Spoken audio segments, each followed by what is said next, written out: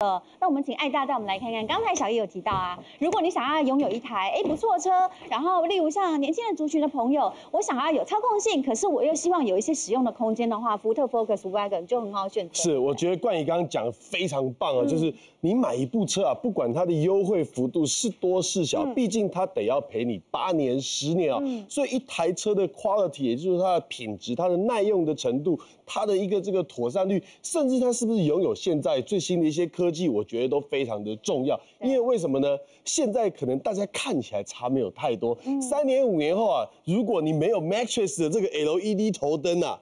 你可能就落伍了，你知道吗？是。所以现场我们看到这一部呢，就像这个冠仪刚刚讲，这是福特 Focus Wagon，而且它是 ST Line Vignale 版本，所以呢，它标准配备的就有什么？就有 Matrix 的 LED 头灯。你现在可能觉得说啊，好像。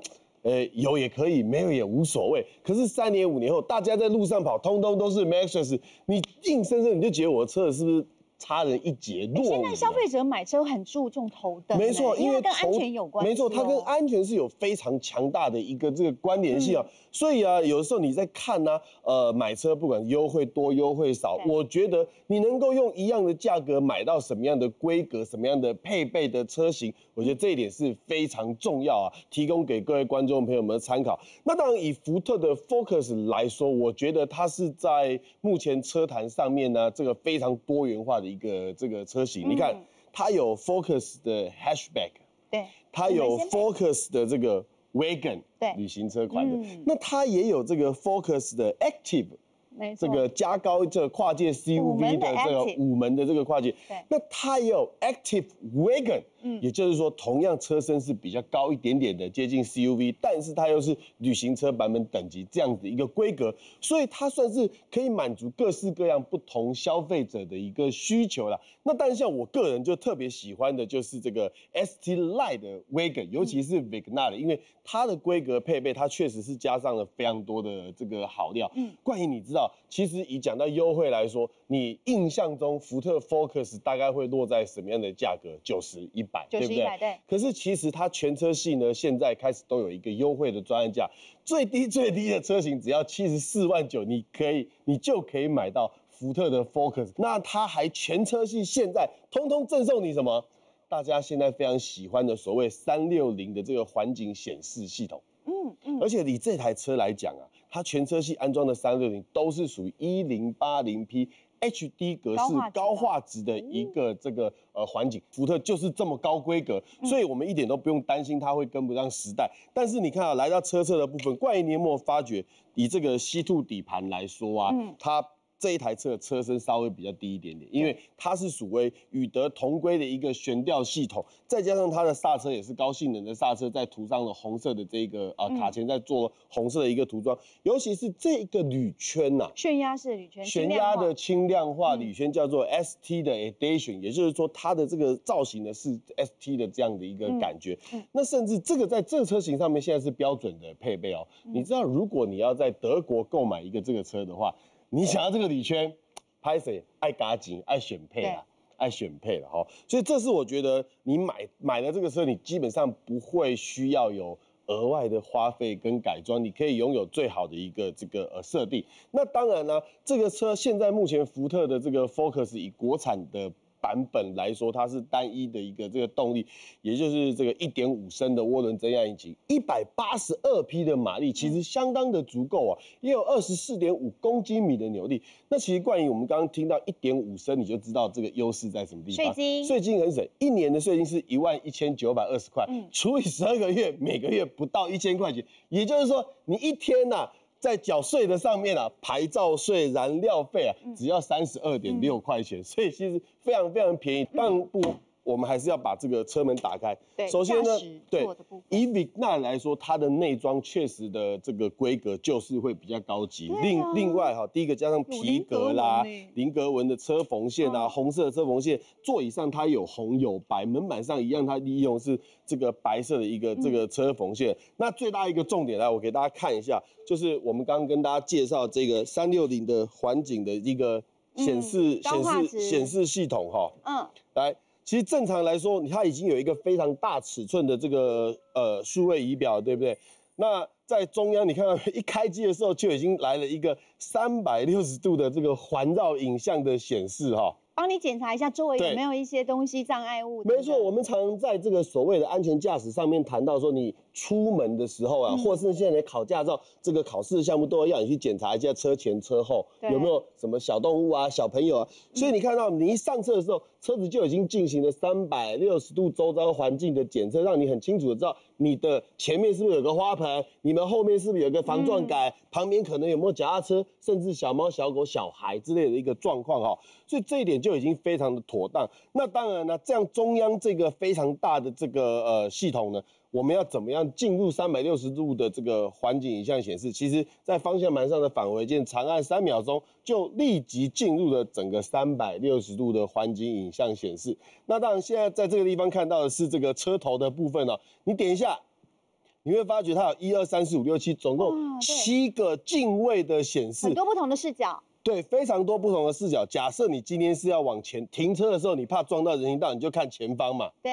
哦，你看我最个人最喜欢是这个接近一百八十度的一个视野范围，不管你是要左前离去、右前离去都看得很清楚。或者是倒车的时候呢，一样选择一百八十度视角，左后右后你都会非常的清楚。那当然了，这个所谓的鸟瞰的三百六十度四周围，让你看清楚这一台车的这个周边状况来讲是。非常非常适用，尤其是在穿梭小巷的时候，在这个画面来讲，你就可以很清楚知道你的车子会其他这个小巷两侧的多拜会不会有这种呃亲密的接触了。那当然要返回来原来的画面，也是轻按一下方向盘上的这个按键呢，就很轻松的可以把这个什么呃三百六十度环境影像系统给它切回来。其实为什么爱大会这么 detail 讲到这个三六零？因为在国产车里面很少有视角这么多可以切换的。没错，所以我特别的喜欢它的七个视角，其中的几个是我特别拿来跟大家分享的。那当然，这台车子其实它的车长有四米六，它的空间相当的惊人呐。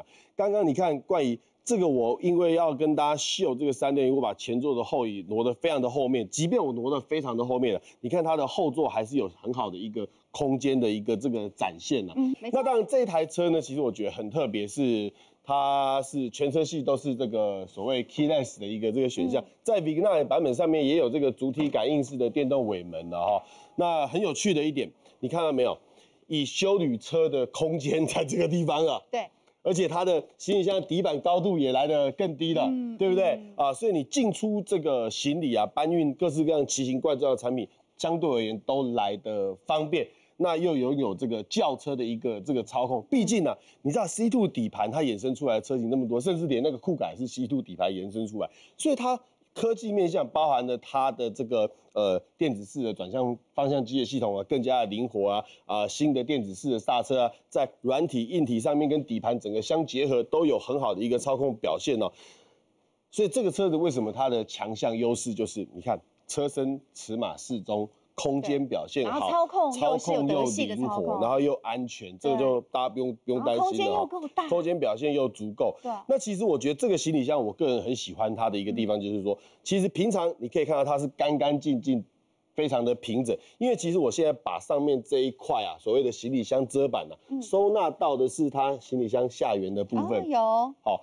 很多时候呢，很多车商都打电话是爱大。上次我们去你们那个电视台录影的那台车子后面那个板子忘了拿回来，因为我们要展示后下的空间，我们都会把板子拆下来，那它没地方放，嗯嗯，没地方放的，所以就放到随便一个地方，最后都忘了带回去。你看这个常常不仅仅在我们摄影棚会发生，也就是说，真正消费者也可能会遇到这样的情形。那这个 Focus 的这个 Wagon 来说，它就有一个固定的收纳的空间，这一点。非常就很贴心了，对不对？你就不用放在你家，或者是你要把它藏在哪里？那其实它这一块底板呢，是也有所谓的，还有多功能的折叠哦，多功能的折叠，再加上它有一个地窖，哇，哦，对，这个我喜欢，哎对对对，所以它可以收纳一些小东西，然后也不会造成行李箱的凌乱。那你也可以把这一块板子呢，整个给它立起来。哦，所以你要当你要整理物品的时候就很方便。对。没错，我们常常为了要拿这样这个地窖的东西呢，像我自己那一台车，就是我是怎么拿，你知道，我是用头顶着这一块板子，我 常看到真的有些人去拿东西。那当然在 Focus 的 Wagon 上面，你看它板子只要折起来收纳进去，嗯，你就可以很轻松的整理你的这个行李箱里面这个你要取放的东西啦。我觉得这一点来讲是非常的贴心的。对，没错，开 Focus Wagon 有型，而且又有个性，这是旅行车很好的一个选项。谢谢艾达。是。那么接下来，观众朋友，如果你是非修旅车不买的，我们来看看福特的酷咖。大伟哥带我们来看一下。一般呢，我们说如果在国产的修旅车里面来讲的话，如果要论操控，要论产品的本质，好，以及呢，就是消费者会觉得说我买到物有所值的，应该就是酷咖，对不对？绝对是酷咖。而且酷咖在今天我刚刚这个小叶也讲嘛，嗯，现在这个竞争态势这么强烈，这个市场上大家都要进展先去比价，去看谁便宜，我才会决定是谁。但是你来到福特，你不用担心，因为他现在。它的价格真的每款都是甜蜜价，嗯像今天来到现场的这台酷咖，我觉得跟旁边这台 Focus Wagon 比起来，我觉得是毫不逊色。为什么？因为有人喜欢 Wagon，但是有人就是要开修旅车。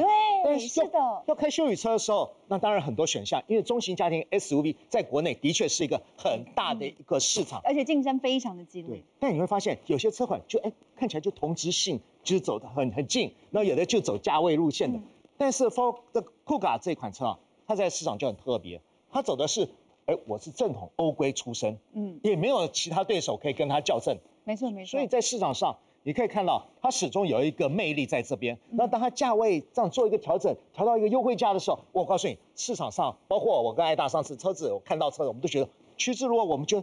在这款酷卡上面，我们找到了一个车子的价值。嗯，像今天现场来的这款是酷卡里面两款动力五款车型面最高规车型，嗯，Big n a l e 而且它是 ST Line 的，对，对不对？就除了运动化之外，它还给你很多的精品级的这样的饰条，对不对？我觉得它魅力就在这里。嗯，Big n a l e 是过去意大利的一个精品品牌，然后福特把它收归起来之后，再过去他们并没有把它说，哎，我要怎么做？后来把它在这个。在这个欧洲的时候，他巧妙推出像 Focus Vignale 或 Mondeo Vignale 之后，大家眼睛亮，大受欢迎。对，原来这个车子只要稍微把这个 Vignale 精神放进来之后，这车子变精品了。嗯哼。像今天这台 Vignale 就是这个福特这里面，像我们现在看到的 Focus，像这酷感里面的少数的这 Vignale 车型哦，你光看它车头，哇，嗯嗯，这 V 字形波浪状的这个全镀铬这个水箱罩，配合它 L 型的镀铬的饰框，车头看起来就超级有精神，超级有那种。多版的感觉，对，而且有一个精品感啦，对，就是等于说，等于朝向比较豪华一点的氛围前进。嗯，那我们再往这侧面看，Vignale 它用的是二十寸圈，有酷卡里面最大尺寸的二十寸，而且双色，配上的轮胎也是马牌的 PC Six，这款轮胎也是评价相当高。它推出的时候，它比它这个雨雨天的性能，或者是山路性能那种抓地力啊等等，它都是高度评价的。所以说，一款国产的修理车来用这好的胎，用这好的圈。当然，你可以看到它，它对它的性能，可以在它的轮胎上可以看到一个重视程度。当然，像它的车内的部分，我特别打开它的后座来看，嗯，你会发现座椅跟人家不一样的地方在哪里？哎，它可以，它有一个中间有个断差，对不对？我们刻意的把座椅呢做一个调整，就是说等于它的座椅可以前后进行滑移，对不对？比格纳里也是酷改车型里面，它有一个客车版本的，所以客车版本它让你就是说，让你后座可以做调整啊，椅背调整或这个椅椅面这个长度的一个就这个长度。对啊，而且你看它可以调整的空间还蛮大的哦。这绝对超过十，差不多十二公分、十五公分了。对。而且最重要的是，你有没有注意到它的椅面的材质？嗯。它用上是温莎皮革，而除此之外，加上它的全景大天窗，用的也是一个米色的一个内顶棚。而且我还要补充一点，它前座。在二五零 ST Line，我记得它是前座十项，副座八项。嗯，在这台车上，它前座全部都是十项的调整电调，而且你的太座大人坐在旁边，他也是有十项，对，很好。然后它的它的驾驶座还有三组记忆哦，嗯，这三组记忆让你可以说，你不仅是不仅是自己，包括太座啊、女朋友，他们都可以很方便的找到自己要的位置。嗯，所以在这台车上，你会觉得说，它里外都对这个消费者啊。有一个很那种尊重的感觉，嗯，尤其我们在看到车尾，车尾也是一个很特别的地方，它的酷嘎字样。所以在车上它有多少个 Vignale 的那个 badge 呢？就是刚刚有看到我们在外观上面，光是这两侧跟这后有三个，对，有三个可以看到。那其他你坐进去是那氛围哦，包括它座椅。头枕，对，头枕下方就有 Vignale，嗯，包括像它行李箱有隐藏空间，对，用料非常好，嗯嗯，电控尾门等等的。这些都有的，这样都到位的情况之下，你说酷卡在市场上，你要买车子，你假如对于你自己说，我要有一个开车的感觉，我要开起来我有爽度，我开起来像欧洲车的感觉，我看大概就是酷卡可以选了。而且我常常看到很多的这个消费者在讨论，他就说，一般通常会买修旅车的人，当当然就是车内载的都是家人，对他们更在乎的是家人的安全。是那因为他在安全上面，哦比如说他整个的车体都是是用大量的硼钢哦。好，这我们也看到说，真的是对开酷卡的人就会觉得说，嗯，的确是给家人多一份保障。这个很多东西不是说我在规格上就就是可以光是比较规格嗯，而是在很多路上的一些体验经验上，你会发现哦，原来酷卡在你在某种程度上它也扮演这种家庭的护国神山。嗯嗯嗯，这个。这种难得的这种，你说我当然不希望发生在每个人身上，但是当一旦发生的时候，你就发现有些车子它的确扮演了很重要的角色，它价值就是在这里。对，如果说观众朋友你真的想要选一台修理车，而且你是要百万的性能修理的话，除了福特酷卡之外，我们帮大家抓出另外几款车，一起好好来比较。